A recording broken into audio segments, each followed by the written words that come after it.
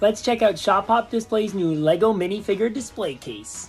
First, we took all the pieces out of the carefully packaged box, then peeled off the protective plastic, placed and screwed together all of the various pieces, popped in the studs for the minifigs to stand on, laid out our Monkie Kid minifig collection as desired, and finally snapped the magnetic front panel in place.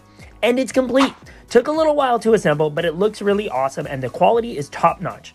It would make a great holiday gift. Check out Shop POP Displays to learn more.